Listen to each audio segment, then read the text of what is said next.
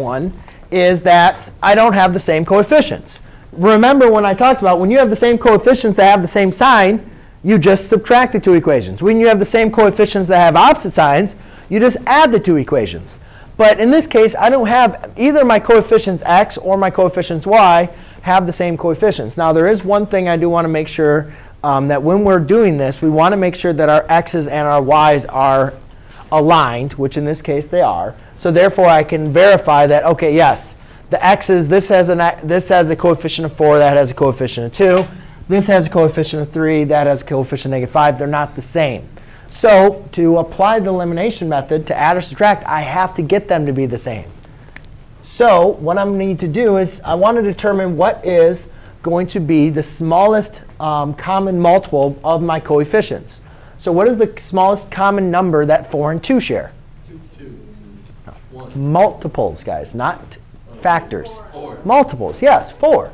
So to get to multiply these to both to get 4, I don't have to do anything to this one. And I simply can just multiply this by to get 2, right? Whereas if you look at 3 and 5, yeah, you could get 3 and fi negative 5 to be the same. We'd have to multiply this by 5 and that by 3 because their common multiple is 15. This one is much easier. So to get them to have the same common multiple, I'm going to multiply by, sorry, it's a horrible marker. I'm going to multiply by, multiply by 2. Now, again, notice using the parentheses. And the next thing I'm going to tell you guys is I showed you guys both methods. Adding the, two adding the two equations as well as subtracting the two equations. Who did people, what did people have more difficulty with, adding or subtracting? Subtract. Subtracting, right? So if you are OK with the subtracting, then go ahead and get them to be the same sign and subtract. However, if you're probably like most students, you don't like subtracting or subtracting gets confusing. So what I would do is remember subtraction happened when you had the same denominator but one or same coefficient, one was positive, one was negative.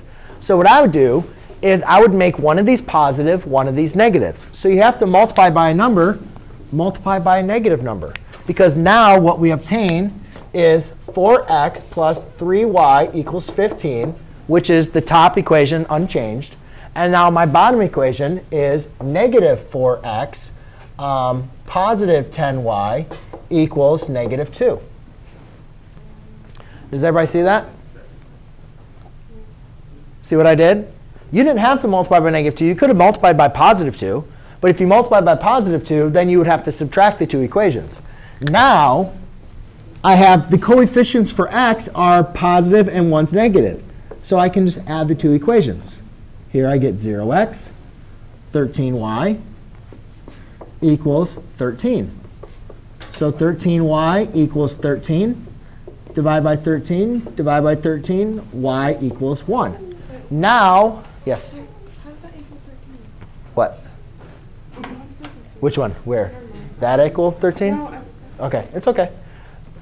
So just let me know if you have any questions. So now, once I know that y equals 1, the common again question is, well, where do how do I find x? Do I plug x into this equation, that equation, this equation, that equation?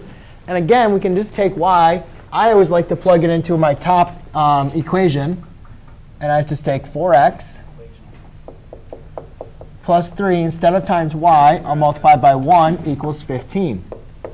4x plus 3 equals 15. Subtract 3, subtract 3. 4x equals 12. Do we have to do subtraction and adding for? Nope. Now, by applying this, I get my system is, or my x value is 3, and my y value is 1. No, you only need to do one method.